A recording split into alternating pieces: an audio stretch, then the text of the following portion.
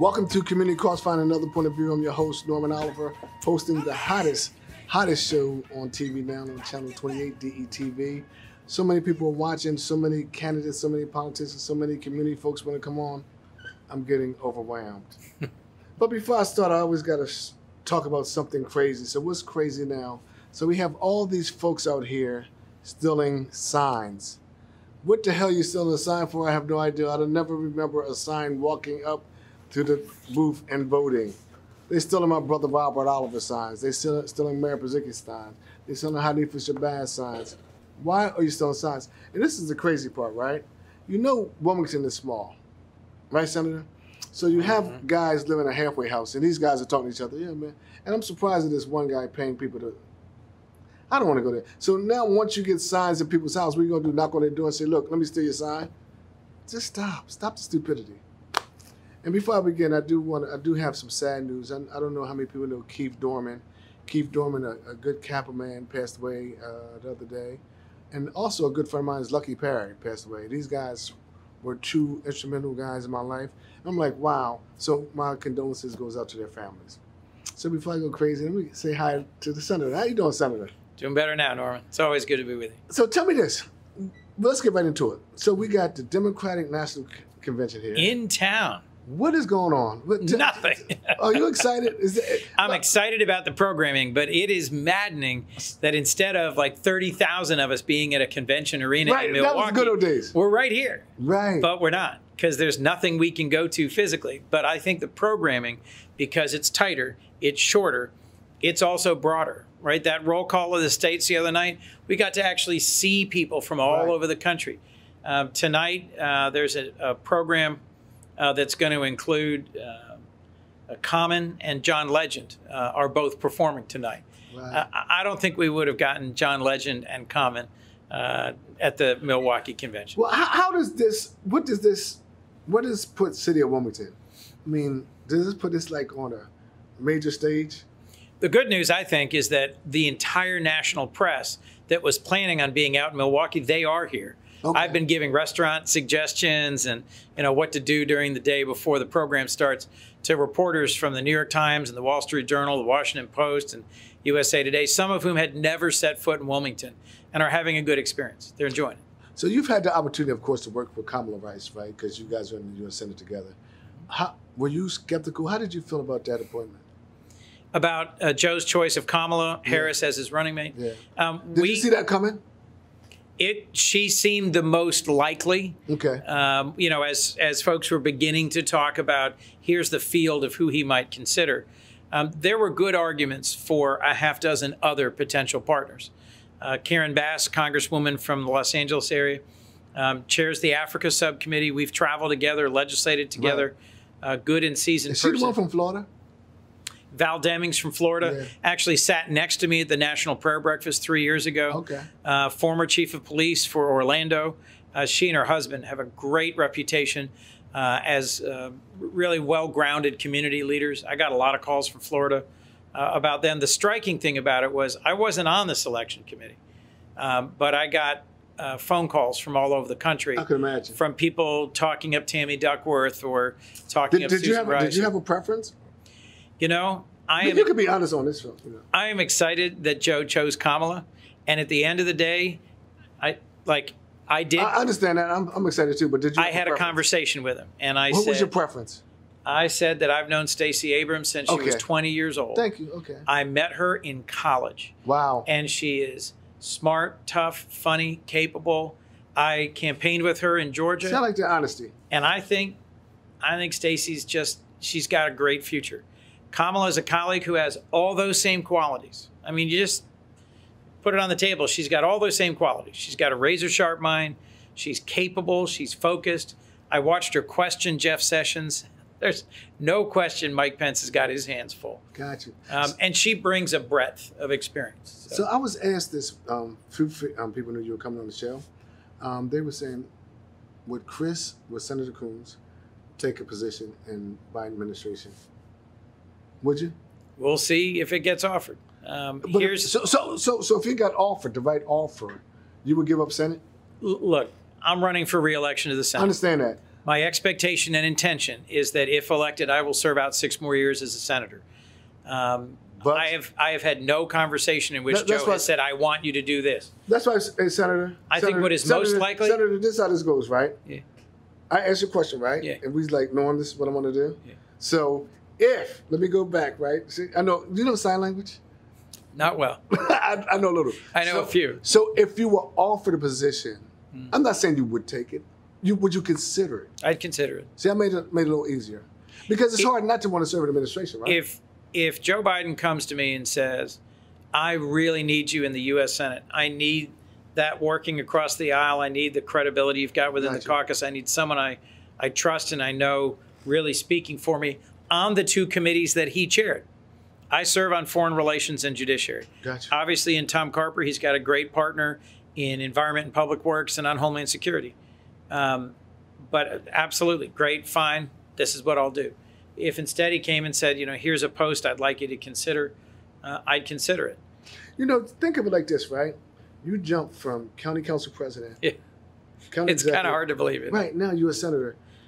Is this what you envision? Look, you never know what's going to happen in life. What, what what was it like now being a U.S. senator? I mean, it's, I mean, it's a different world, right? Yeah. Tell me a little bit about it. So the good news, bad news. Um, you know, because I was in county government for 10 years, Right. um, because Annie was in county government um before that, uh, and I spent so much time right here. Right. I'm still dealing with stuff uh, that I was I was involved on the phone at length yesterday with a group of constituents concerned about a project, a construct Right. county permit. Um, and I love that that helps keep me connected to issues and challenges here locally. But I also am juggling, you know, the ambassador from South Africa um, wants a phone call, and, you know, the attorney general in another state wants a phone call. And so I'm trying to balance Wow. international issues, national issues, and local issues. Um, the other thing that's great is, you know, I'll be out walking my dog and five different people will stop and just say, Hey, I just wanted to talk to you for a minute. And Delaware's the kind of place people know they can do that. Right. You know, you know, it's interesting, right? I remember the first time I saw you on national. I text you. I'm like, You're like, what are you doing? Yeah, like, but I mean, it was. I mean, so you're on MSNBC a lot, right? Uh, Yep. CNN. So, so you're getting national attention, right? Yeah. And by the way, I thought like, if I could be candid, I think I had to. I thought you would be uh, a vice president because you were on a fast track. Yeah. I mean, I'm not saying that in a bad way. I'm saying it in a, in a positive way. Is that look a little bit overwhelming? What is? It has to be overwhelming coming from the county Um, executive to U.S. Senate to be even looked upon like that. look, I that was one of the things that unfolded as I was talking to some of the folks who were being considered for vice president. Um, a number of them had that same response, which was, "I never imagined." I Right. I mean, I I never thought this was something uh, that could be a possibility in my life, and so.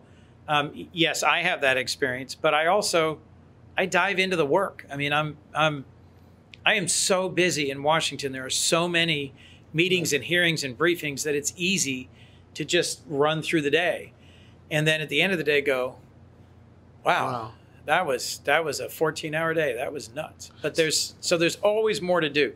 I mean, if it's if it's not the crisis of the postal service and the disassembling of mail sorting machines and the imminent threat to the vote, it's the pandemic and the ways in which it's impacting seniors and healthcare. And if it's not that, it's someone who's texting me saying, you know, I just lost my job. I'm afraid I'm going to lose my house. I mean, there's there's real need Let- every let- day, let- and that keeps me grounded. Let's talk about the pandemic for a second, and, and your response to how do you think uh, Trump and those guys are handling? it?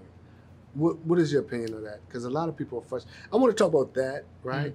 And I've been getting, I haven't been getting all my mail, so I'm Yeah. getting a little pissed about that too, Mhm. and I'm a little concerned about seniors. You know, this guy's playing games, in my opinion, about mail-in voting, but it's also affecting other mail. So you were So I get a both of them. report uh, every week. I get a report from my offices from Washington, Wilmington, Dover about every email, phone call, anyone who's expressed a concern. Um, actually, two weeks ago, it happened that I ended up sponsoring a bill that one Delawarean wrote in about. One. because I, yeah, I ask and break it out. But then I also get the numbers on what are the biggest concerns. We are now over 2,000 people who've called or emailed my office in the last three weeks expressing concern about the delay of their mail. Wow. So, uh, veterans who aren't getting their medication That's mailed crazy. to them by the VA, small business owners who can't, you know, send checks, get right, checks, right. Um, seniors concerned about their social security checks. A few cases, it's just literally, I mailed my granddaughter her birthday card with a check in it, and she didn't get it for 10 days. She got it after her birthday. So, some of these folks, these are independents, Republicans, Democrats, they're just complaining about the mail. What, what do we do about it? Others are concerned about what they're seeing on TV about the Postmaster General. So there's a hearing tomorrow in the Senate in front of the Homeland Security Committee. Senator Harris is a member. Wow. If she shows up, he's going to have quite a day, um, where he's going to be forced to answer questions about why did you decide to do this in the middle of a pandemic where we know a record number of people are going to vote by mail. Right. Why did you pick this moment? It's crazy. to cut back on overtime, to lay people off, to disassemble bulk mail handling machines, and to change uh, routes and support for the workforce. Now, I think his argument, from what I've seen, is going to be well, I'm a businessman, I'm running the Postal Service like a business, and they're losing money. Right now, in the middle of a pandemic, if we weren't pumping money into know the that, you didn't know that three years ago? And if we weren't pumping money into the airlines right now, they wouldn't be flying. If we weren't giving money to Amtrak, it wouldn't be moving. Right. Right. So the fundamental question here is what is the Postal Service? Is it just another business? Or is it an essential service that connects our country together?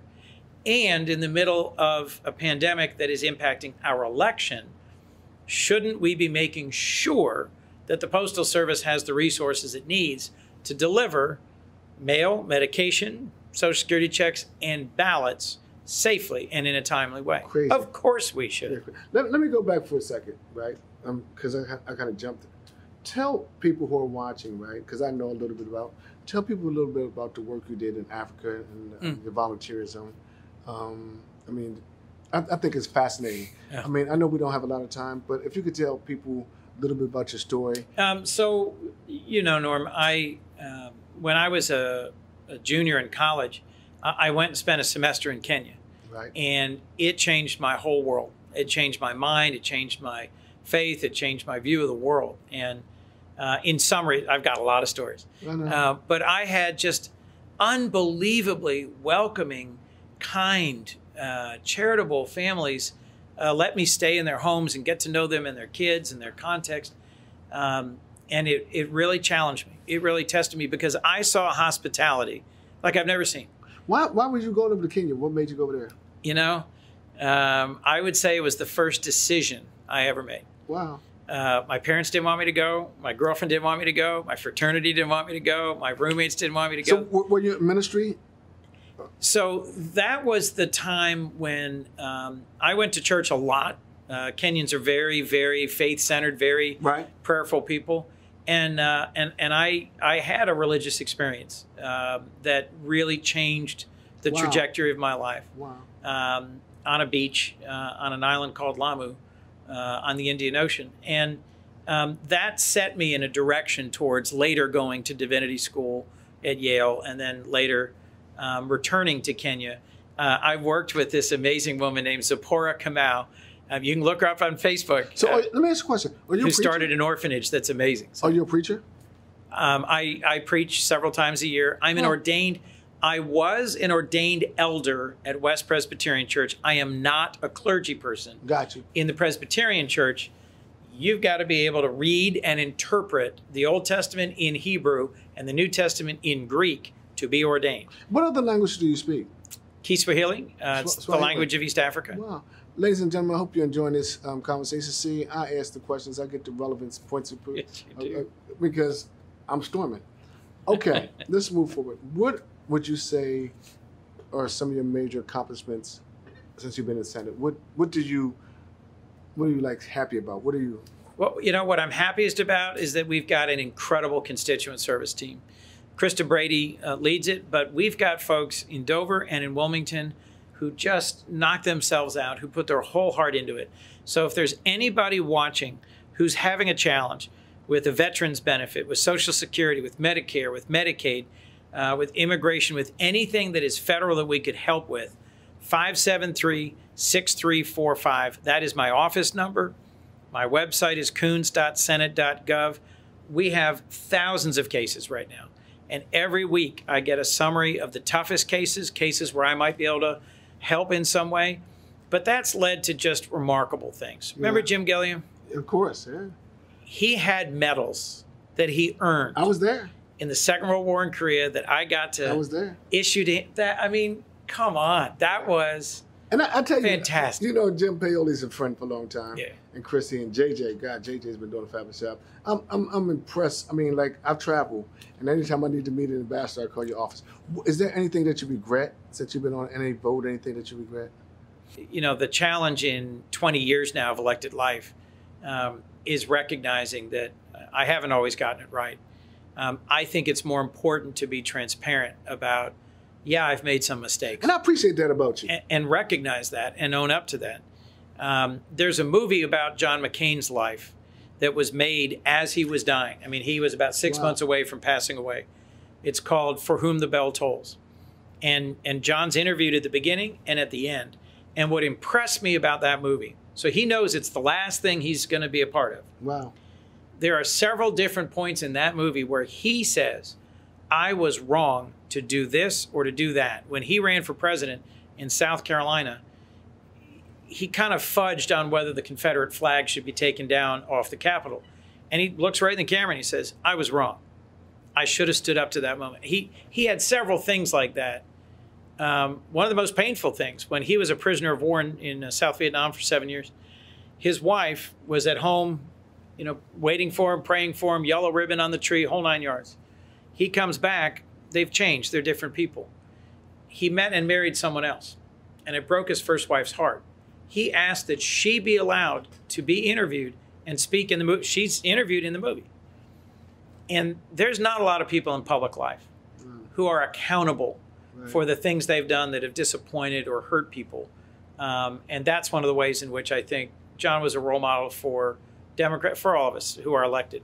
None of us are perfect. People who insist they've never made a mistake aren't telling you the whole truth. Ladies and gentlemen, you wonder why I like this guy. He, I mean, seriously, I, I genuinely like him as a friend. I like him as a senator. I think that the future is bright for him, and it's because of honesty. You know, because I'm going to ask the question, right? Uh, it doesn't matter, but Senator Coons always been a guy who stood up, uh, and I, you, you can see it on his face. That last question, and I, I, I wrestled with it, but so many people's Uh-huh. like, you have to. And I just appreciated your honesty and sincerity. So, in closing, um, Senator, is there anything that you want to talk to the people about that's going on? I, I gotta, you know, you, um, when am I gonna get invited to come like have a nice little dinner or lunch up there? You know, why don't you treat your friend like I, I want to walk around the Senate floor like, man, I've been here. You know, you know, I love Hey, taking pictures. Soon, soon as last, last time I was with you with Chuck Schumer, Yep. you and I. Who, who's got that guy's house? That guy's house was like, soon as we're not wearing these things, that's right. you should come back down. We should do community crossfire from the Capitol. See, I told That you that would be Ivan. fun. That would be fun. But you, you're doing an excellent job. We're all proud Thank of you, in the state of Delaware. Trying. And I don't know why anybody would run against you. We're going to let's pound them, eighty to twenty, no, ninety to ten. They shouldn't We'll be see. running any freaking way. I'm not allowed to curse anymore on TV because, well, I said it. Oh, So, ladies and gentlemen, Norman. good. I hope you've enjoyed my good friend Senator Chris Coons.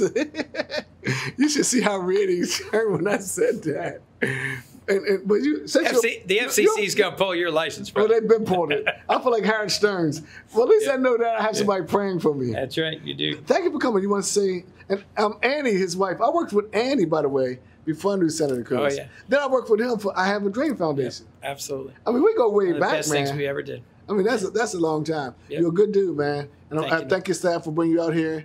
And if we were two minutes late, it's because of Senator Coons, not me. I'm the brother always on time. Have a good one. Next up will be Senator uh, Congresswoman Lisa Blunt Rochester. We're gonna keep this thing going.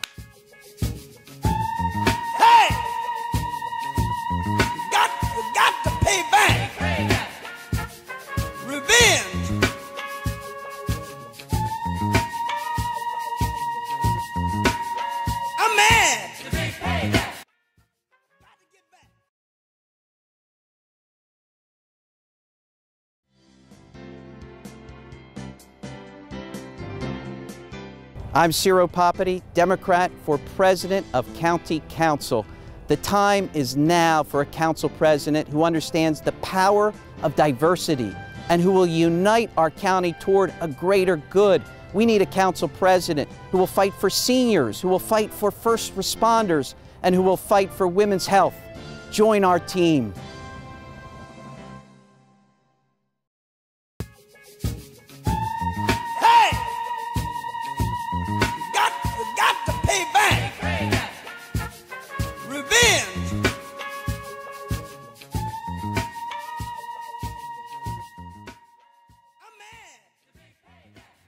Back to Community Crossfire Another Point of View. I'm your host, Norman Oliver. What a nice interview. I mean, where did you get during the Democratic convention your U.S. Senator, Chris Coons, your Congresswoman, your U.S. Congresswoman, Congresswoman, Lisa Blunt Rochester. You know, I used to just keep saying Lisa Blunt. Then she started choking me. Ah, nah, I got five names to it. How you doing, Congresswoman? Hello, Norman, and hello to the community, Community Crossfire. Glad to be here, and don't don't make fun of my name. I'm gonna make. I love your name. L- LBR works too. You can just keep it short. That's right. Let's get right into it, right? Yeah. The one thing I want to ask you, a lot of people were asking me around the country, like even when you was going to Minnesota, how was it serving on a committee? Only five people in the whole country to choose our vice president and being a part of history, having Kamala Harris on the ticket. Have you had a chance to digest it? Or it may take a few years. I mean, I'm serious about this, Yeah. right? Yeah, I mean, I was like emotional. me too. You know, I, I mean, how did you feel with that kind of responsibility? Because I know you were getting calls all over. Right. You know, Norman. First of all, um, I'm glad that we're having the opportunity to have this discussion because it really did not hit me until last night. Wow. when she said, I accept your nomination as the Vice President of the United States of America, all of a sudden, all kinds of feelings and things flooded in. Like, it was, I, I just thought of our ancestors. I thought of, I thought of my grandparents. I thought Absolutely of, right. so, I thought of our children, and um, and I thought about the fact that a lot of times I know for myself, like it really didn't even hit me about the position I'm in Right. until that moment, which is really weird. I've been in this position now going on four years. And um, I remember when I won the primary, that first election, y'all know I had never run for anything, and I had been mourning the loss of my husband. And so, you know, I was just, you know, I wanted to serve, I wanted to win. Right. And we won the primary, and people were all celebrating, and I couldn't celebrate because I felt like, well, yeah, that is historic, but we didn't win yet. We still have to get across the finish line. So the past couple of weeks, I've been feeling like that about the the campaign and about the potential ticket. That you know you got to get across the finish line. But last night, thinking of all of the years and the people before us that made that moment possible, it just really hit me. And the hard work, uh, you know, of making history. Uh, uh, again, a lot of times I think I downplayed it because I- you're I'm- just doing the work, I- right? you know, and, and that's why I wanted to start this interview off with that because I know how you are, right? I know I know your heart. I mean, you know, you, you have a beautiful heart and spirit. You're very spiritual, you. right? And just that task, right? From like you said, look how far. I mean, in four years. Now you put on a national stage. You're getting Right. interviewed from everyone around the world right. about this, right? And then I, I thought it got kind of weird with Dobbs, Senator Dobbs, with his comment, but mm-hmm. you guys had to bring that back. And the first person I thought about was you. Yeah, yeah. I mean, like again, this is history, man. Well, you know, I, I'll tell you, um, when the vice president asked me to serve on this committee, he he called. They said he's going to call you in ten minutes, and I was like, okay. I'm thinking he's going to ask me to speak at a church or something, you know, kind of like a normal surrogate kind of role. Um, but he said, I'm going to have four people serve on a selection committee, Wow. and then ultimately I will make the decision. So that's the fifth is is Joe Biden himself.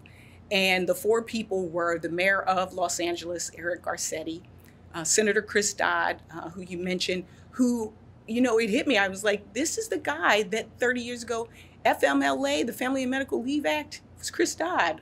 The, you know, the bank reform, Dodd Frank, was I Chris know, Dodd. Like, right. and I'm thinking, wow, I'm in the room. right and and then um, cynthia hogan was the fourth person who had worked for senator biden for many years as a legal counsel. She had vetted people before. She had worked for apple and the nfl and um, you know at first i was really just honored and humbled. And then i started getting calls from people saying oh congratulations congratulations. Then i started getting calls from other people. I feel so sorry for you. Ooh, black people gonna be mad at you, and women gonna be mad at you, and you know all kind of So you was getting all that. Oh, and, and initially, yes, and so well, maybe throughout. Um, but I, I actually took like a little card, index card, and wrote some things that I pasted on or taped onto my kitchen wall, that just said things like, "Don't be a whiner throughout this process. You know, you're you're blessed to be." In this position to have a seat at the table representing people. Um, I had on there the only person I need to please is God. You know, I, people they're going to be mad at you or glad about what you're doing all the time no matter what it is. So you just have to try to do the right thing. And i said i'm going to work hard study the issues learn what it takes like what's the history of picking a vice president? Um, you know watch documentaries uh, get the criteria hear from him what he wants. And then i'm going to do like we always do do the hard work um, pray on it and let it go and be blunt Be blunt. that was my other thing. I like uh, that. you know, you got to speak the truth when you see it, and so, um, so yeah, Thank it you. was. Uh, so let me let me ask you a few other questions, right? Yeah. Because that, that I just had to get that out of the way because people were asking me, right? So now you're in Congress, right? right. What what's going on? Is, is is it what you expected? You didn't know what to expect. Right. You're on a fast track. I mean, you got the Black Caucus. Right. I mean, you're getting asked to speak around the country now. I mean, people pulling you. Yeah. So is this what you expected? Or were you ready for this? So first of all, I had no expectations. Okay. you know, for what it would be like for me. I did, however, know from many people might not know, but I started as an intern in the office of Tom Carper uh, back in 1987. I 1987. knew that. Yeah. And so, you know, and I remember standing on those steps as an intern taking the picture with the congressman. And so I had a little bit of an inkling, and then I became a caseworker. And that's really important. And for people who are watching, you know, congressional offices can do so much for you, whether it is helping you with your social security issues or the IRS or, or, or housing. Like that's the kind of stuff I worked on as a caseworker. And it allowed me to be um, close to the issues that the people were facing. So I knew that that was going to be a priority for me is that we provide, you know, good casework services. Um, but I will say um, I came in at the same time as Donald Trump. And I don't I don't think anybody could have imagined. Uh, he called it American carnage in his inaugural speech. And that is exactly what we are witnessing. People's life and livelihoods are on the line. So I didn't expect that. And in the first uh, term, in the first four years, was, the first term you was in the minority, right? that's right. That's exactly right. So the Republicans were in See, I know everything, ladies and gentlemen. I You sure a little bit do. yeah. You got you got it all down. But we were still able to pass some bipartisan bills because just like I try to do here in Delaware, you know, I try to find allies all over the place to try to work on things that whether it's you know helping with uh, the flooding in our communities or um, you know I got to work on the farm bill and make sure that like for the for for the SNAP program um, these harsh work requirements that didn't even have a wouldn't even have a positive impact except to kick people off of SNAP um, I was able to be at the table to stop those kinds of things during that first term. Um, but what was interesting is that since I've been there, we have had the longest shutdown of the government in history. We've impeached the president in the House of Representatives. How was that vote? Did you get a lot of threats? You know, we we we. it's I mean, you as an individual. So it's interesting, you know, when we get them, sometimes it's through social media or, Gotcha. um, and and that's what Capitol Police have been incredible. Um, you know, if, if they need to visit somebody, they will. Um, but um, but but you know, most of the time it's just kind of that negative talk. Um, but you really have to pay attention to why you're there. Keep your eyes on the prize, like John Lewis said. So we had an impeachment. Uh, then we've had COVID nineteen. where a pandemic where we it basically just showed all of the inequities and disparities that we already knew existed. I mean, we've been talking about health disparities for forever. Forever, yeah. And then we had George Floyd. yeah. You know? What what what role did John Lewis play in your life as Mm. as a freshman congresswoman? Wow. Because I remember you you were with him a couple Mm-hmm. different times. hmm Yeah, I've been fortunate to go to um, on the Faith and Politics pilgrimage with him twice to um, Selma, Montgomery, and Birmingham, and stand on the Edmund Pettus Bridge. I think the thing that um, has really been a blessing is to watch this giant but humble servant who could command a room but also make every single individual person feel seen and heard. Like I remember there's a there's a picture of us kind of walking through the Capitol together, and um, people started coming up to him, and he would just stop. He would talk to anybody he, that would want to talk to him. He would sign things. He would talk to kids. Like he made everybody feel seen and heard, and he was able to have this moral command and at the same time um, have it all center around love Wow. it, it was it, it was so i was so fortunate to see it embodied Have you ever thought about um, getting in ministry like as a, a pastor? I love god I know you, do. you did. know That's why I asked you. you know we we are in love I, I, matter of fact i i, I just uh, sent somebody a ted talk about marry yourself you know and and about just being in love with god and i i feel that in everything we do it's a ministry Yeah. or an opportunity for a ministry So let me ask you this. i don't need the title but i i, I definitely I, uh, I got to get a lot of questions in really quickly, right? yeah So you have a trajectory. You- You're moving like this. Um, Let's be honest. I mean, you could be humble, but I don't have to be humble. So I say what say what I want, right? So would you seek another office, or you think have this is me, you, and the other 5,000, 20,000 people watching, right? Would you look to be the look at the governorship in four years? Would you look at the senator if the opportunity prevails? Or would you say, I could do this for the next 30, 40 years? yeah I know it's a tough question, It's but not a tough that's why I got to ask questions. it's not a tough question Okay. at all Okay. you go where you're called to go. That's how I feel. Like even me taking this step of running, there were many years that people told me I should run for things. You should run for this, you should run for that. I remember one time Tom Carper even called me on my birthday and said, Lisa, this is God calling. Because because I would always say I have to be called. People right now are speculating and saying, oh, you could do this, you could work in administration, you could. And I always say, bloom where you're planted but be prepared. So I don't I don't rule things out. Um, I think one of the interesting things about this moment and watching the conversation, even about the women who were considered for vice president, was that people felt like, why, why shouldn't they be ambitious? Why shouldn't women be ambitious? For me, the thing that motivates me and drives me is is how can I serve best and serve the most at this time. Mhm. Um, I was really fortunate to have some time off too when I moved to China with my late husband. And it gave me a chance to write a book, which I love writing. I love the arts. I love creativity. And right now I get to infuse that in what I do. So, um, you know, when it's clear, it's always real clear. Let me ask you a question. Um, ladies and gentlemen, you're watching Community Crossfire. Uh, this is Congresswoman Lisa Blunt Rochester. Uh, great dialogue, by the way. So, what motivates you?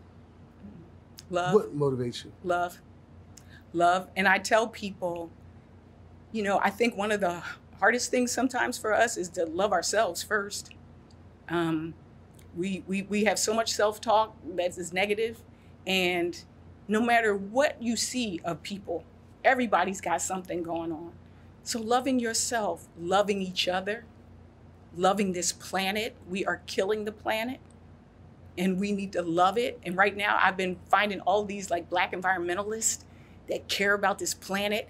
And I want to see more young people and older people. It was nature that helped me to mourn, Mm, bird watching. wow. The Bible talks about how God will clothe the little birds and, and, and make sure they're fed. Why would he not take care of me? So love. I got. I was in a few meetings with you, right? And you talked about this early on when we first started talking, um, the Black Lives Matter. You were talking about Floyd, and you got emotional every time. Why? I think all of us. Um, well, first of all, when when he first when you first saw that video, I was numb, and I think it was because I had to numb myself because I didn't want to be either too mad or too sad or just you know lose it. Um, but um, I think we think, at least for me, I see I see I see my uncle in George Floyd. Oh wow! I see my son Wow. in George Floyd. Um, and I see a bigger, broken foundation of our country that what our country was built on. That unless we get comfortable with uncomfortable conversations, unless we say it's not just enough to give to a HBCU, like we now have to hold each other and ourselves accountable in this moment. And that that is that that is the the power of even one life. That is the power of it. Um, so, you know, but the other thing is, it's got to be turned into action. That also motivates me. Action motivates me. Like, I got to see measurable change. Why else are we here? And, and again, it gets back to love. Ultimately, if I love you, I don't want to see you discriminated against. I want to see you have a home. I want to see your children thrive in school because I love you. And I love myself too. That's right. I love myself too. I talked to Senator Coons a little bit about this. I'm a little frustrated about this whole mail stuff, um, and I know Congress is having a hearing on it. Yeah. What's going to be done? What can be done? Yeah. Because, I mean, let's say forget the mail-in ballots. I just want my, my mail. Like, Right. I can't even get my bills. Can't I have a check coming to me? I can't get my check. Exactly. I mean, you're talking products, you're talking prescriptions, you're talking people's, I mean, paychecks. Um, so the president himself has basically said he's sabotaging the Postal Service so that he can affect the election. Um, but we know that it affects all of us. And so in the House, we're actually going into session this Saturday. We, we, I don't know when we've ever gone into session on a Saturday to vote for a bill called the Delivering for America Act that will basically put the Postmaster General on notice that not only do we want money to go to the Postal Service to be able to implement and do the things they need to do, but we want to make sure that they fix the things that he has tried to dismantle. But let me ask you a question. So you guys are fixing, so, so, but once it gets to Senate, they could. Well, so so this is the this is the interesting part where the people come in. This is where the American people come in. First of all, there's going to be a, a Senate hearing as well as we're having a hearing on Monday where he, the Postmaster General DeJoy, is coming before us to answer to Congress. That's Right. number one. Number two, we're passing this bill and we're basically saying to to our Republican Senate uh, colleagues, put your money where your mouth is. You say that you believe in the Postal Service. You, we know it's the number one uh, respected agency in the federal government, and so um, if if they if if they don't have a problem with it, vote for it. Otherwise, I just heard a song by Willie Nelson, and he basically said, you know, if you don't like them, vote them out. And if they're not the ones in your state, call your relatives, call your friends and your family all across the country, and tell them, you know, Well, vote them I, out. I like Willie Nelson. I think he smokes a little bit too much weed. Well, maybe that's not a bad thing if you wrote a song like that. Willie be puffing. I had to throw that in there. you did. You had to go there, didn't you? yeah, Willie- So, so what I was going to ask you, the Black Caucus. So, how effective is the Congressional Black Caucus? Wow. Well, first of all, many of the chair chair people of the like Maxine Waters, chair of financial services, uh, Benny Thompson, Homeland Security. I could go through all of the different people that are in leadership positions now that are now being able to make sure the budget and the dollars that come to us are in the places that Yeah, need Maxine to be been fighting for a long time. seriously she claims her time right you know but there are specific things we had an agenda it, it started with even the george floyd uh, justice and policing act that was spearheaded by the congressional black caucus Oh, wow. voting rights the bill that we passed this year that was spearheaded by the congressional black caucus Is this still um, friction with the progressive um, side of Congress compared to like the Nancy Pelosi side of Congress? you know, it's funny because um, Nancy Pelosi, she came in That's how that's who she is, Right. progressive. I'm actually in two different caucuses. I'm in the New Dems, which is like the you know problem solving, business uh, friendly caucus, as well as the progressives. I'm a progressive. I don't believe they're mutually exclusive. I believe you can have a strong economy and care for civil rights and human rights and marriage equality, as well as and on the progressive side, we want good jobs and clean energy jobs. So I don't think I think there's always going to be a conflict as Democrats because we're a, we're a big family. We're, we're not uh, uh, it's not like we're um, the the Republican family at least in Congress on the House floor is more homo- homogeneous.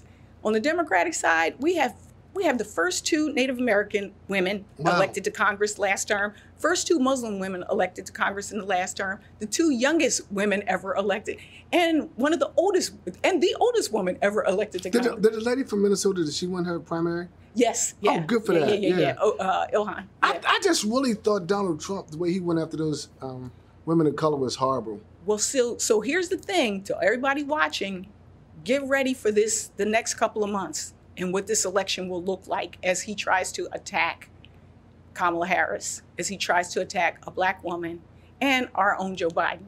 There will be a lot of attacks coming, but that's okay. We're, we're ready. That's right. We're ready.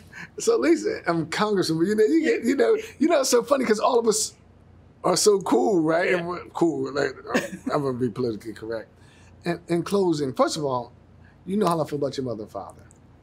And, and your your father's been like, wow, a mentor and friend, Mm-hmm. and especially when I mean, he taught me about finances and a whole bunch of other things, and I know how close you guys are.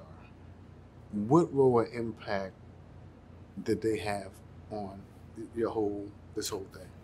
Norm, that's it's so funny you should ask me that. I just called my mother right before I came here. And I just said thank you. Wow. I said thank you for the two of them making me into the person that I am today. Wow. I'm so blessed. Um, they they have taught us to stand up for what's right. They have told us to try to do it with dignity and class or grace. They have taught us to care about people. They have taught us. My dad taught me count, know the numbers, know how many votes you have, follow the money. They've taught us practical things as well as just be a good person Mm. and and to be a good parent and um and to be a good good good citizen. Thank you I much. love those people. Mom and dad, if you're watching, thank you so much for uh, for all that you do. My mom is the prayer warrior. She's the one that you know. Dad will give me advice on, on politics and things like that. Mom, I just like I send a prayer hands and she knows what to do. She goes right into action. So um, I'm really really fortunate. And of course, my sisters Thea and Marla. Yeah. Everybody knows you know my baby sister Marla. And then my incredible kids, Alex and Alyssa, and my daughter in love. I don't call her daughter-in-law. I didn't, I didn't. I didn't know you was going to go down. I'm sorry, but You- if I, what about your cousin, your aunt, your well, you if you want me to go there, I will. Because family means a lot. That's right. Family means a lot. I'm so appreciative of this young lady. And Yeah. you mean a lot, Norman Oliver. I have to take this moment. I don't know if I have the time, but people don't know the things that you do behind the scenes, the things that you do without fanfare to make sure that we uplift our community and our state. Not just the turkey drive, but on everyday basis. When we saw George Floyd died, you were one of the people that reached out and said, we got to bring people together. We got to find action oriented solutions. And I salute you and I Thank you. thank you for everything that you have done, not just No, for the community, no, no, but no, for no, me. you know you make me cry. She's the only person who can do that. Ladies and gentlemen, I hope you enjoyed this um, interview. And I, I, tell you seriously, I kind of joke, but it's, it's very touching because I remember when I had the turkey drive and, and I was pushing out there to make the announcement. And she's like, no, no, no. And she get out there, well, I'm lit. And, and she went state to state, but she's never forgotten. She keeps coming back. And she said something, though, seriously. She said dignity, grace, and character. And I just hope that the elected officials who are running down in the city of Wilmington just start taking heed to that. Like we may disagree. And I think it was W.B. Du Bois said that we could be as separate as a finger, but one holds the hand. I mean, like we did, but this hatefulness, it gotta stop. It gotta stop. And it's and it's and I don't want to get into black and white, but it's a lot of our black uh, officials. We got Wilmington's small. Wilmington's small, and I don't want to get into a big dialogue, because I know I go hard, I fight hard. I play hard. But after it's over, I want to have a cup of coffee with you, but I'd rather have a glass of wine, right? Because I like good red wine. But uh, you, you understand what I'm, where Oh, I'm coming from, Dale? I, I totally I mean, do. and you know how things are in our community. We gotta, we got, and we depend on some of these folks. and and and also people are looking they're looking at how we handle ourselves in this moment because we are we, we are the representation especially especially our kids Thank you. I, I, I, and I. Shoot, you want to come sit? Come on, get over here. got, got to pay back. Revenge